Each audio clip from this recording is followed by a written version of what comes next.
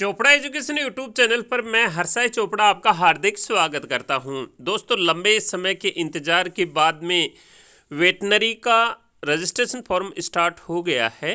तो इसकी वेबसाइट पहले A I P V T dot V C I dot nic dot in हुआ करती थी। अभी इस साल से ये V C I counselling dot nic dot in है। तो जैसे ही इसकी वेबसाइट पर हम विज़िट करते हैं तो इस प्रकार का इंटरफेस हमें दिखाई देता है। तो सबसे पहले हम इसका एक बार इंफॉर्मेशन ब्राउचर डाउनलोड करके देख लेते हैं। डाउनलोड सेक्शन में आपको इन्फॉर्मेशन बुलेटिन मिल जाएगा। तो जैसे ही इसका इन्फॉर्मेशन बुलेटिन डाउनलोड करते हैं तो इसमें कोर्स का ड्यूरेशन दिखाया गया है। ये साढ़े पाँच साल का कोर्स है इंटर्नशिप के साथ में। इसके बाद में six zero seven total number of seats हैं इसमें। Fifteen percent all India quota के लिए। एलिजिबिलिटी की बात करें तो इसमें इंडियन नेशनल होना चाहिए। इसके बाद में इसमें एज क्राइटेरिया भी है इसमें। मिनिमम एज सेवनटीन ईयर्स होनी चाहिए और maximum age twenty five years thirty first दिसंबर ट्वेंटी ट्वेंटी को होनी चाहिए। इसके साथ में S C S T category के कैंडिडेट को पाँच साल की छूट है ओ बी सी कैटेगरी को तीन साल की छूट है और पी एच कैंडिडेट को टेन ईयर्स की छूट है इसमें। इसके बाद में जब इसकी रजिस्ट्रेशन की फ़ीस की बात करें हम तो रजिस्ट्रेशन की फ़ीस इसकी जनरल कैटेगरी के लिए वन थाउज़ेंड रुपीज़ है नाइन हंड्रेड रुपीज़ है ई डब्ल्यू एस और ओ बी सी कैंडिडेट के लिए और फाइव हंड्रेड रुपीज़ है S C S T P W D P H candidate के लिए। इसमें ये दोनों मोड हैं ऑनलाइन रजिस्ट्रेशन फ़ीस डिपॉजिट कर सकते हैं और ऑफलाइन रजिस्ट्रेशन फ़ीस भी आप पेमेंट कर सकते हैं इसका। इसके बाद में इसमें मोपअप राउंड के लिए एलिजिबिलिटी की कंडीशन दी गई है। मोपअप राउंड में जिन कैंडिडेट ने फ़र्स्ट और फ़र्स्ट राउंड में रजिस्ट्रेशन नहीं किया है, वो मोपअप राउंड में फ्रेश रजिस्ट्रेशन कर सकते हैं।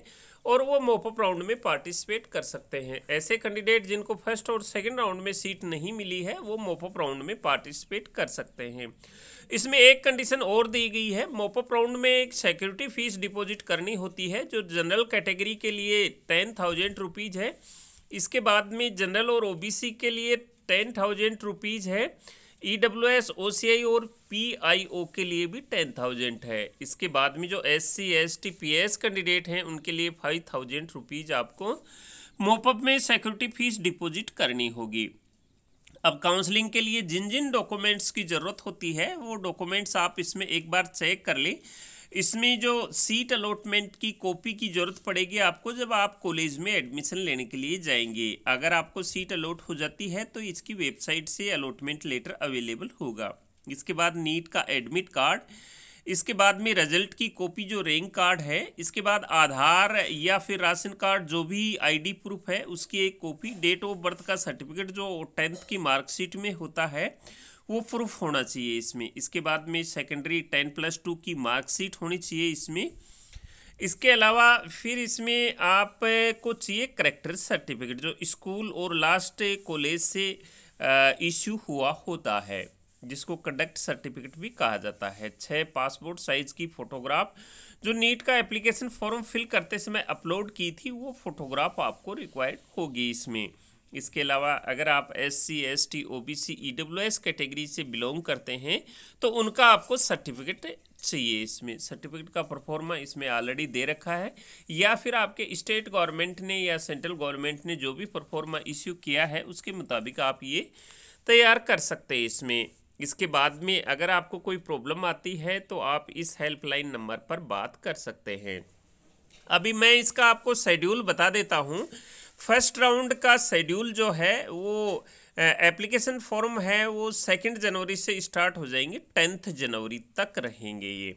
मैं आपको यहाँ एक चीज़ और बता देता हूँ कि इसमें फ़र्स्ट राउंड में ही रजिस्ट्रेशन होते हैं। सेकेंड राउंड में फ्रेश रजिस्ट्रेशन नहीं होता है, इसके बाद मोपअप राउंड में फ्रेश रजिस्ट्रेशन होता है। तो इसमें जो रजिस्ट्रेशन होगा और चॉइस फिल और लॉकिंग की जो फैसिलिटी होगी वो टेंथ जनवरी 2021 तक होगी। इसके बाद में हम पेमेंट रजिस्ट्रेशन फ़ीस ऑनलाइन की बात करें तो आपको रजिस्ट्रेशन फ़ीस जो ऑनलाइन डिपॉजिट करनी होगी, वो भी टेंथ जनवरी तक ही करनी होगी इसमें। इसके बाद में हम बात करें सीट अलॉटमेंट की तो प्रोसेसिंग इलेवन से थर्टीनथ जनवरी ट्वेंटी वन तक होगा और रिज़ल्ट अनाउंस हो जाएगा फोर्टीनथ जनवरी ट्वेंटी वन को। इसके बाद रिपोर्टिंग टाइम फ़र्स्ट राउंड के लिए मिलेगा फिफ्टीन से ट्वेंटी जनवरी ट्वेंटी वन शाम पाँच बजे तक। इसके बाद सेकेंड राउंड के लिए जो सीट वैकेंट रहेंगी, उनका पब्लिकेशन हो जाएगा ट्वेंटी फिफ्थ जनवरी शाम छः बजे। इसके बाद में प्रोसेसिंग होगा अगलोटमेंट का ट्वेंटी सेवन और ट्वेंटी एट जनवरी को। इसके बाद रिज़ल्ट आ जाएगा ट्वेंटी नाइन जनवरी शाम छः बजे बाद में। इसके बाद जो सेकेंड राउंड का रिपोर्टिंग टाइम होगा, वो एक फरवरी से पाँच फरवरी शाम पाँच बजे तक होगा इसमें। अब जो मोपअप राउंड के लिए इसमें शेड्यूल है, वो सीट मैट्रिक्स आएगा इसमें नाइन फरवरी ट्वेंटी वन शाम छः बजे बाद।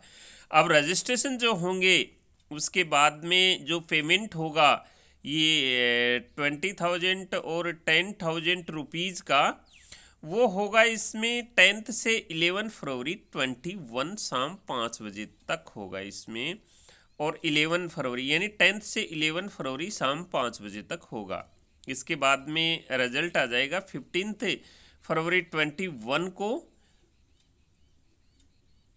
इसके बाद में जो रिपोर्टिंग टाइम होगा वो सिक्सटीन से ट्वेंटी टू फरवरी तक होगा इसमें। इसमें बाकी जो कंडीशनें हैं वो दे रखी हैं। इसके बाद जो सीट मैट्रिक्स देखें हम तो इसमें total six zero seven seats हैं। यू आर की फोर फोर वन सीट है यू आर पी एच की ट्वेंटी थ्री सीट्स है। ओ बी सी की फोर सीट है एस सी की एटी सिक्स सीट है एस सी पी एच की फोर सीट है एस टी की फोर्टी थ्री सीट है एस टी पी एस की टू सीट है ई डब्ल्यू एस की फोर सीट है। इस प्रकार से total six zero seven seats हैं। ये इसमें नोडल ऑफिसर की लिस्ट दे रखी है हर एक कॉलेज वाइज। तो अगर आपको कोई प्रॉब्लम होती है तो नोडल ऑफिसर से आप बात कर सकते हैं फ़ोन से या फिर ईमेल से। अब इसमें रजिस्ट्रेशन कैसे करना है? तो इसमें न्यू रजिस्ट्रेशन पर आपको क्लिक करना है। न्यू रजिस्ट्रेशन पर क्लिक करने के बाद NEET roll number, NEET registration या फिर application number, candidate name, mother name, date of birth, mobile number email ID, इसके बाद इंग्लिश, फिजिक्स, केमिस्ट्री, बायोलॉजी के अपने मार्क्स ओपटेन मार्क्स और मैक्सिमम मार्क्स फिल करने हैं। इसके बाद जो नीचे सिक्योरिटी क्वेश्चन है, वो फिल करना है और सबमिट करना है। तो जैसे ही आप सबमिट करोगे, इस प्रकार का कैंडिडेट एग्रीमेंट आएगा। आई एग्री पर क्लिक करना है और क्लिक हेयर टू प्रोसीड पर क्लिक कर देना है आपको। तो जैसे ही इस पर आप क्लिक करेंगे मेलिंग एड्रेस देना है आपने, इसके बाद में यहाँ एक पासवर्ड चूज़ करना है और कन्फर्म पासवर्ड डाल के आपने आगे सबमिट करना है। यहाँ सिक्योरिटी क्वेश्चन भी आपको एक सेलेक्ट करना है, उसका आंसर देना है। उसके बाद में यह आपका रजिस्ट्रेशन हो जाएगा। कन्फर्म रजिस्ट्रेशन पर आपने क्लिक करना है। जैसे ही कन्फर्म रजिस्ट्रेशन पर क्लिक करेंगे, आपका रजिस्ट्रेशन कंप्लीट हो जाएगा। यहाँ पर लॉगिन का ऑप्शन मिलेगा, लेकिन अभी यहाँ लॉगिन इनेबल्ड नहीं हो रखा है। यहाँ कैंडिडेट लॉगिन का एक ऑप्शन मिलेगा न्यू यूज़र रजिस्ट्रेशन के नीचे। अभी वो ऑप्शन दिया नहीं गया है। ये ऑप्शन जल्दी ही दे दिया जाएगा। इसके बाद हम इसकी फ़ीस ऑनलाइन भी पेमेंट कर सकते हैं, चालान से भी प्रिंट कर सकते हैं। इसमें चालान प्रिंट का ऑप्शन भी है। यहाँ आपको NEET roll number registration number वगैरह ये सारा डालने के बाद सबमिट करेंगे तो ये चालान की कॉपी आ जाएगी। इसमें अभी ये प्रॉपर काम नहीं कर रहा है। तो जैसे ही ये काम करने लगे, अभी दस तारीख तक के लिए काफ़ी टाइम है, तब आप इसमें रजिस्ट्रेशन कर सकते हैं। इसके बाद में मैं आपको बताऊँ कि जो आपको कॉलेज फिल करनी है, वो किस क्रम में कॉलेज फिल करनी है। तो आप ये देख रहे हैं, टॉप में आपने यूपी मेरिट का कॉलेज फिल करना है, इसके बाद बीकानेर, हिसार, लुधियाना, मथुरा तो इस प्रकार से आप ये कॉलेज फिल कर सकते हैं। सीनियरिटी के अनुसार टॉप से लोवेस्ट के क्रम में। आप इसको झूम करके देख लें कौन सी कॉलेज किस क्रम में फिल करना है। इसके बाद कॉलेज फिल करते समय आप इसमें फ़ीस का ख्याल रखें। इसमें जो फ़ीस है, इसमें कुछ से कॉलेज प्राइवेट कॉलेज भी हैं, तीन चार कॉलेज प्राइवेट कॉलेज हैं जिनकी फ़ीस काफ़ी ज़्यादा है तो आप उसका ख्याल रखें। कहीं वो इस प्रकार की कॉलेज आप इसमें फिल ना करें।